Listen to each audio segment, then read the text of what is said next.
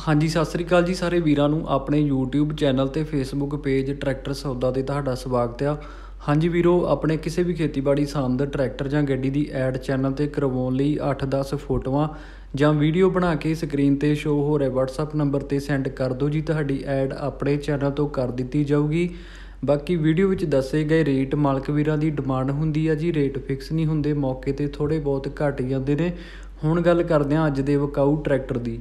ਹਾਂਜੀ ਵੀਰੋ, ਸਕਰੀਨ ਤੇ ਵੇਖ ਰਹੇ ਹੋ ਸਟੈਂਡਰਡ 345 ਇਹ ਟਰੈਕਟਰ ਵਕਾਊ ਆ ਜੀ। 2003 ਮਾਡਲ ਆ, ਹਰਿਆਣਾ ਨੰਬਰ ਆ। ਕੰਡੀਸ਼ਨ ਪੂਰੀ ਸਾਫ਼ ਪਈ ਹੈ ਜੀ, ਟਰੈਕਟਰ ਰੀਜਨਲ ਆ। ਇੰਜਨ ਗੇਅਰ, ਲਿਫਟ ਪੰਪ ਦੀ ਫੁੱਲ ਗਾਰੰਟੀ ਆ, ਕੋਈ ਕਮੀ ਪੇਸ਼ੀ ਨਹੀਂ। ਖਰੀਦਣ ਸਮੇਂ ਚੰਗੀ ਤਰ੍ਹਾਂ ਚਲਾ ਕੇ, ਵਾਹ ਕੇ ਚੈੱਕ ਕਰ ਸਕਦੇ ਹੋ। ਡਬਲ ਕਲੱਚ ਦੇ ਨਾਲ ਆ 6 ਝਿਰੀ ਆ। ਬਾਕੀ ਟਾਇਰਾਂ ਦੀ ਕੰਡੀਸ਼ਨ ਦੀ ਗੱਲ ਕਰੀਏ ਤਾਂ ਚਾਰੇ ਟਾਇਰ ਨਵੇਂ ਨੇ।